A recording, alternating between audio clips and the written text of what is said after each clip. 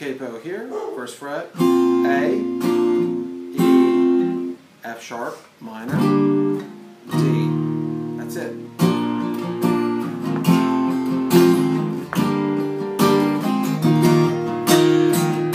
Very simple, okay?